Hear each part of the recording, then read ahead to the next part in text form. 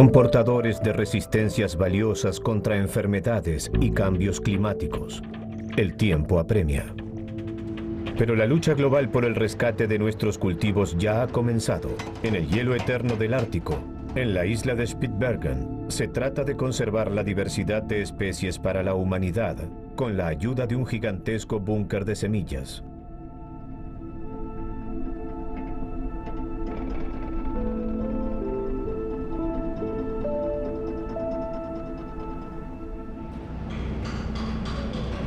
Los obreros en Spitsbergen abrieron un largo túnel en la montaña helada.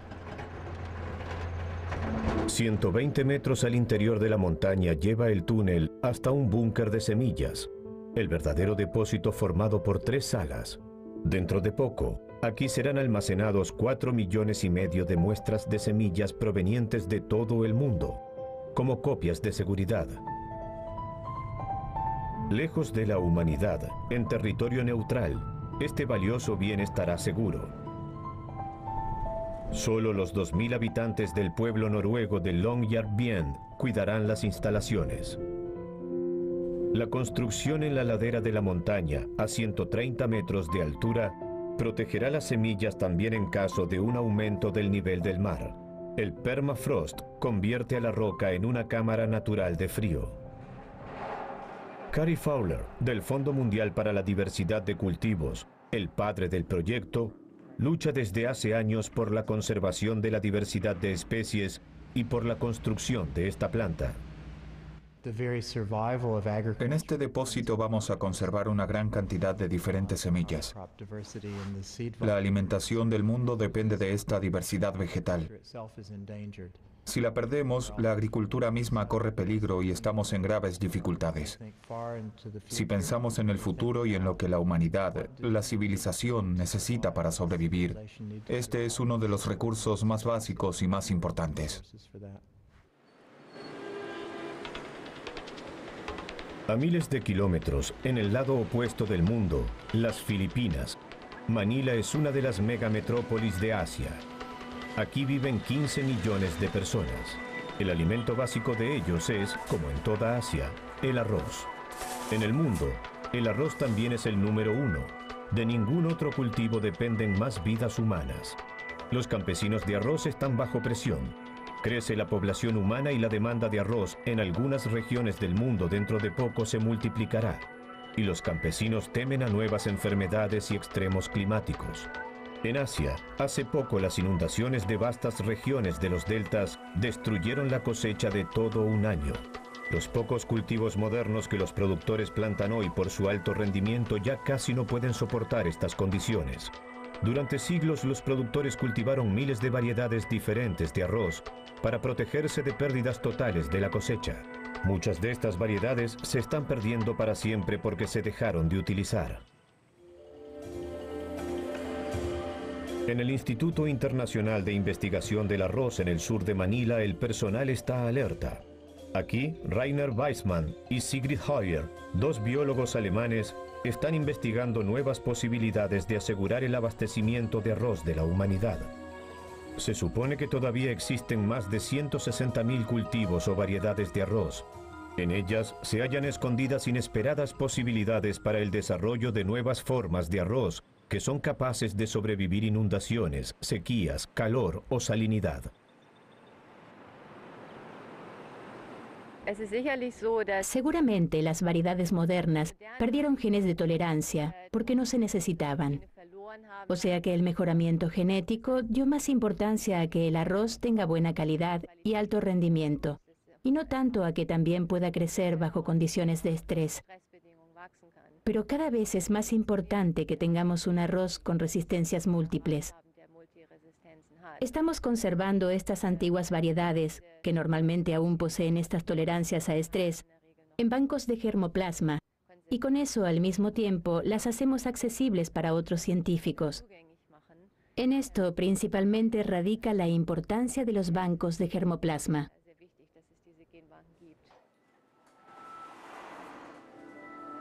Aquí se halla almacenado el gran tesoro del instituto, semillas de arroz protegidas por sobrecitos de aluminio. Aquí Sigrid Hoyer encuentra todo lo que necesita para su investigación. porque en estas semillas duermen características genéticas para cultivos de arroz resistentes al estrés climático. Por eso los investigadores a su colección la llaman banco de genes. Más de 110.000 variedades diferentes se conservan aquí a temperaturas bajo cero. Durante décadas fueron colectadas en todo el mundo. A pesar de las condiciones óptimas, las semillas de arroz mantienen su poder germinativo solo durante pocos años. Por eso periódicamente son sembradas y almacenadas nuevamente. Investigadores en todo el mundo recurren a estos materiales. Pero también culturas enteras dependientes del arroz pudieron ser salvadas, como por ejemplo Camboya, cuyos cultivos de arroz habían sido destrozados completamente por la guerra. Copias de semillas del arroz camboyano, adaptado a las condiciones locales, ayudaron en la reconstrucción del país. Fue un shock cuando hace unos años un tifón devastó el centro de investigación, poniendo en peligro la valiosa colección de semillas. En todo el mundo los bancos de germoplasma corren peligro, sea por catástrofes naturales, guerra, terrorismo o saqueo. Por eso las copias de estas semillas preciosas deben estar en un lugar seguro.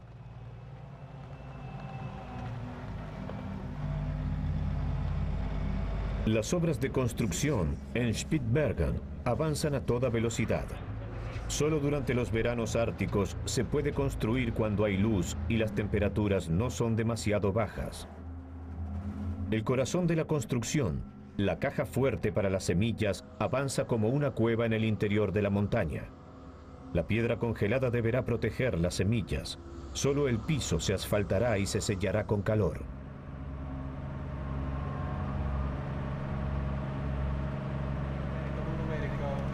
Cary Fowler imagina el desarrollo de la obra. Esta planta fue diseñada con visión de futuro. Aquí tenemos lugar como para los próximos mil años. Es una construcción fantástica. A los científicos les dibujará una sonrisa en la cara. La ambición es que sea una obra para la eternidad. ¿Podrá salvar la historia milenaria de los cultivos?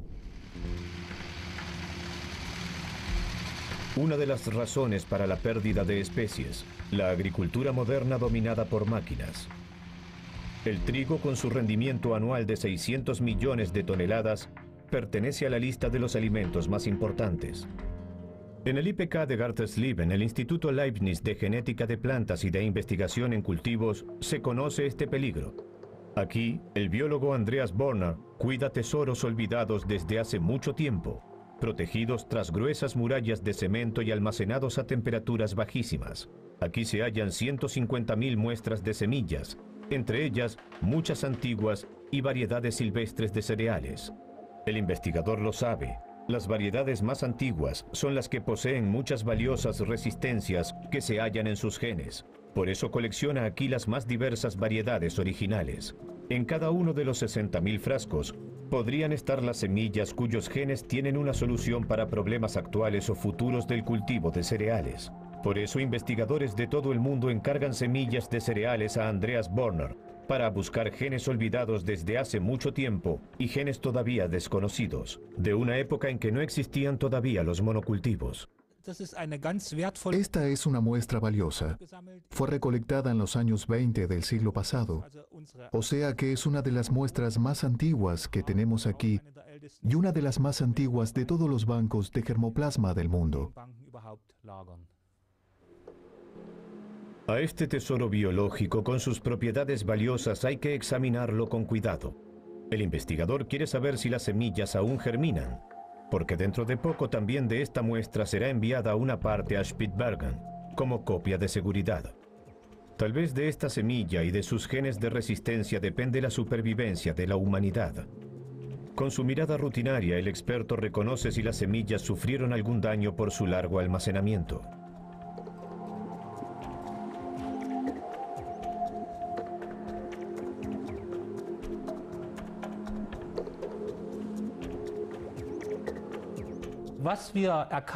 Nos dimos cuenta, sobre todo en los últimos años, que en cuanto al poder germinativo, también existe variabilidad dentro de la especie de cereal.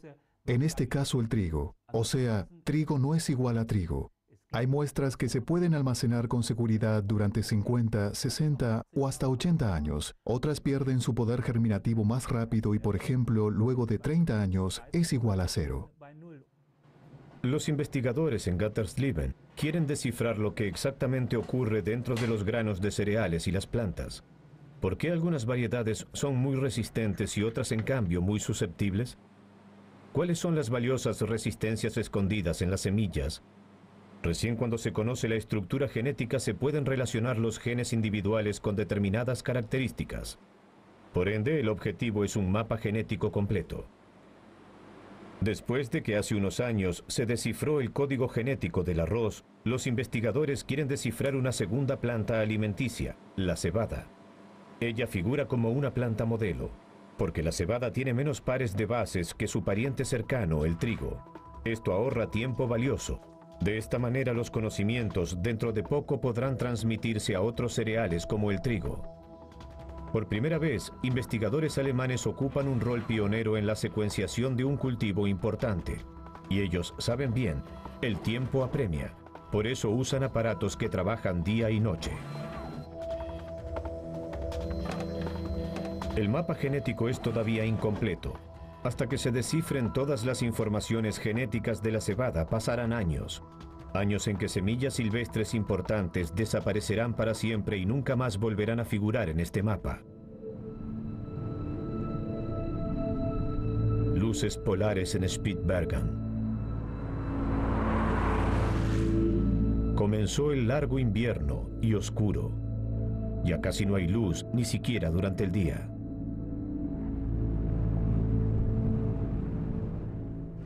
La construcción del gran búnker de semillas terminó a tiempo, después de solo ocho meses de obras.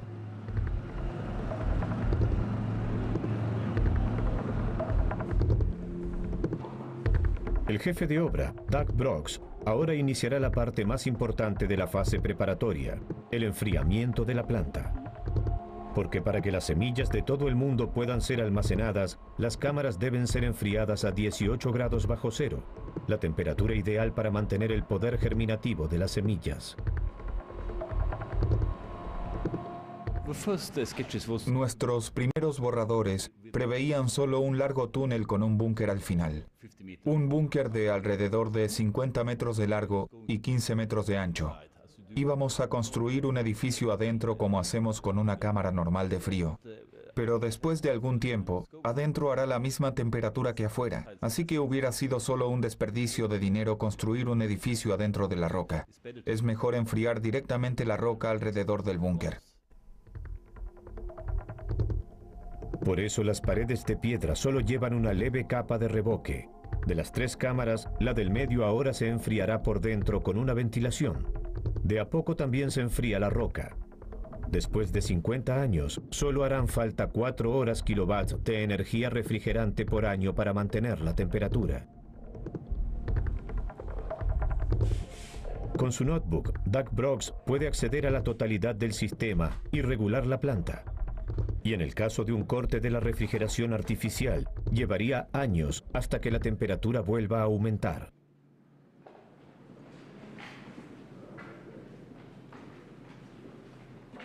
Ya dentro de poco llegarán las primeras muestras de semillas a Spitsbergen y el búnker se cerrará.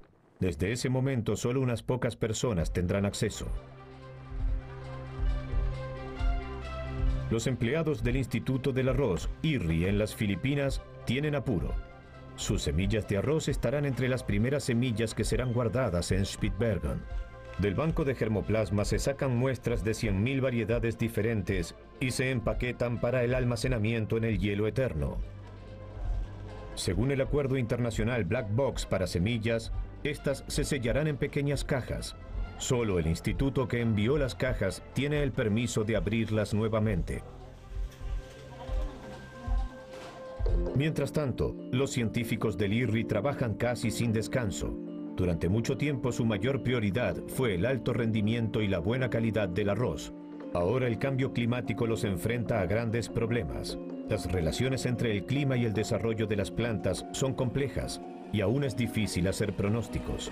Un aumento de la temperatura mínima diurna de un solo grado podría significar una reducción de la cosecha de un 10%, según el biólogo Rainer Bassmann. En el contexto asiático, el cultivo de arroz es demasiado importante como para ignorar tales riesgos como los que se presentan ahora por el cambio climático. Y por eso tenemos que pensar en cómo serán los problemas y en lo que podemos hacer para su mejoramiento genético, porque todo eso lleva su tiempo también en cuanto al desarrollo de prácticas de cultivo y del manejo de agua, entre otros temas. Por eso es importante que empecemos a trabajar ahora mismo pensando cómo mantener estables los rendimientos de arroz, también bajo las condiciones del futuro. Los investigadores cultivan el arroz en cámaras de clima. Aquí estudian cómo los cambios de temperatura afectan a las plantas de arroz. Los granos de arroz se marcan con colores y se observa su comportamiento bajo estrés calórico. Aquí se puede cambiar la temperatura con gran precisión y en pocos minutos, lo que permite la simulación de diferentes escenarios de calor. Plantas de arroz de alto rendimiento siempre florecerán a la misma hora, entre las 10 y las 12 de la mañana. Pero en este estadio también son más sensibles al calor. ¿Y si se obtuviera una planta de arroz que florece temprano a la mañana? cuando todavía no hace tanto calor, podría ser mucho más resistente al calor.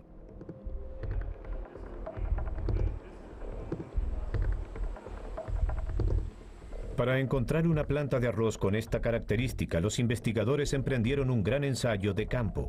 Sembraron 4.000 variedades de arroz provenientes del banco de germoplasma y examinaron el comportamiento de la floración. Y de hecho, algunas variedades de arroz florecían temprano a la mañana pero de manera más apremiante que por el calor, el cultivo de arroz se ve afectado por el ímpetu de catástrofes naturales provocadas por el cambio climático. Las inundaciones, por ejemplo, son un riesgo grande en Asia. Hace poco, un ciclón destruyó la cosecha en Bangladesh. Cada año en Asia es aniquilado arroz por un valor de un millón de dólares. El cambio climático agudizará aún más esta situación. Sigrid Hoyer y sus co-investigadores internacionales buscan soluciones para los agricultores y su cosecha en peligro. La forma más común de cultivo del arroz es la de inundación. Hay que regular estrictamente la cantidad de agua. Si las plantas son cubiertas completamente por el agua, no sobrevivirán más de siete días.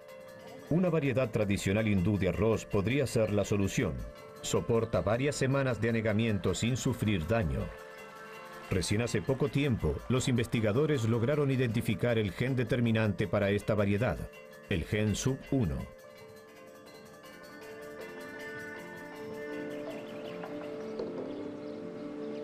Sigrid Hoyer y su grupo de trabajo están rastreando este gen. Quieren introducir el carácter de resistencia a las inundaciones en un moderno cultivo de arroz de alto rendimiento. Para esto se cruzan las plantas de manera tradicional, pero por primera vez métodos modernos de biología molecular permiten localizar el gen buscado en una planta. Ahora puede ser introducido a otra planta por un cruzamiento intencionado. Con eso, los investigadores ahorran muchísimo tiempo. Tiempo precioso para obtener un cultivo salvador. Al método se lo denomina Smart Birding, mejoramiento inteligente. No necesita ninguna manipulación genética los biólogos lograron introducir el gen sub-1 al popular cultivo de arroz IR64. En un experimento de prueba, el arroz se somete a una inundación artificial de más de 10 días. El resultado es asombroso. El arroz con la tolerancia frente a la inundación tiene un rendimiento mucho más alto.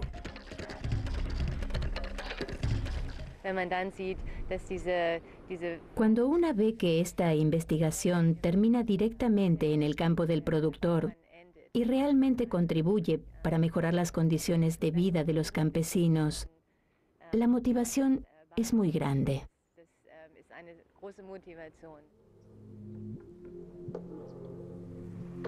También en Alemania, el clima tendrá efectos sobre la agricultura sobre todo Alemania del Sur y del Este, podrían verse afectados dentro de poco por extensos periodos de sequía estival. Los más actuales ensayos de campo muestran una disminución en el rendimiento de grano del 10% con cada grado de aumento de la temperatura. El trigo y la cebada son más susceptibles durante la fase del desarrollo del grano. Calor, en conjunto con estrés hídrico, puede causar una pérdida de cosecha por encima del 70%. Para los productores esto significa pérdida total.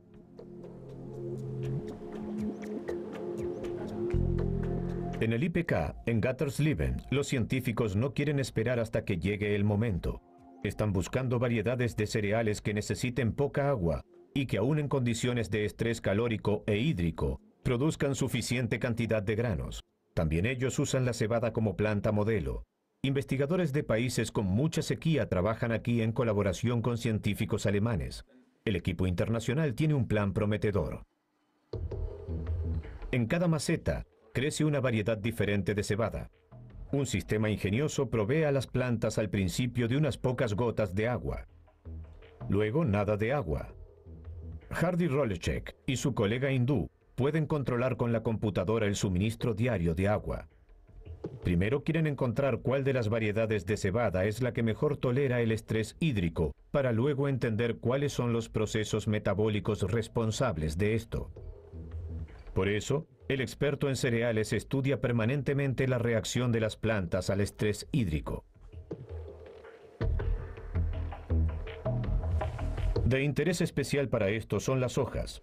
Allí es donde ocurre la fotosíntesis y la regulación hídrica. Una y otra vez, Hardy Roleshek toma muestras y congela su metabolismo a 196 grados bajo cero.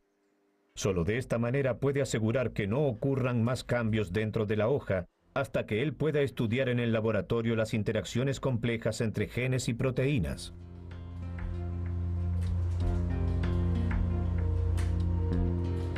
En estas hojas quizás se encuentra la llave para nuestro futuro.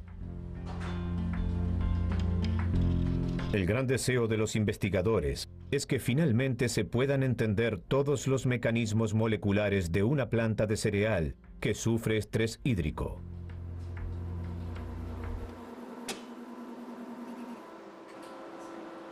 Hoy, solo computadoras y bioinformáticos pueden manejar las enormes cantidades de datos que son arrojados en estos estudios. Hardy Roleshek lo sabe. Mientras él trata de entender los procesos bajo estrés hídrico y de encontrar los genes óptimos, la única planta de cebada que tenga los caracteres buscados podría en este momento estar perdida para siempre. Para que científicos como él tengan en el futuro todas las posibilidades a su alcance, hay que rescatar la mayor cantidad de especies de plantas posibles, para un caso de emergencia, en la seguridad del hielo. En el aeropuerto de Longyearbyen, en Spitsbergen, aterrizan los primeros aviones de carga. Llegaron las semillas de todo el mundo. Bajo estrictas medidas de seguridad, las cajas selladas con las semillas se cargan en un contenedor para recorrer el último trayecto de su viaje. Montaña arriba hacia el búnker de semillas, su depósito final.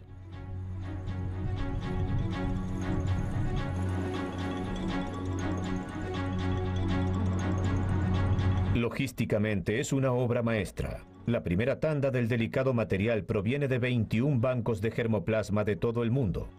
En algún momento los 1.400 bancos de germoplasma de más de 100 países enviarán sus cajas hacia aquí. Hasta que las estanterías del búnker de semillas estén llenos, estos empleados del Fondo Mundial para la Diversidad de Cultivos estarán hasta el cuello de trabajo.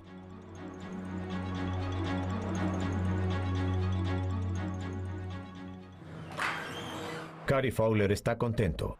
En el rescate de la diversidad de plantas, él hizo su parte. Tratamos de hacer algo a largo plazo y buscamos conservar semillas para cientos y miles de años. Cómo la sociedad se organizará para usar esta diversidad es algo que nosotros no podemos determinar. Lo que podemos hacer es conservar las opciones para que las sociedades del futuro puedan hacer uso de la diversidad de plantas según su criterio.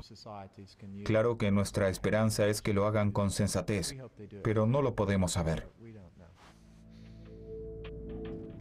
El búnker de semillas es y será siempre solamente un depósito para copias de seguridad. cuántas semillas de cultivos realmente pueden ser coleccionadas y mantenidas y sobre todo cómo se utilizará este material de semillas algún día será la responsabilidad de todos los humanos, investigadores, políticos, la comunidad internacional completa.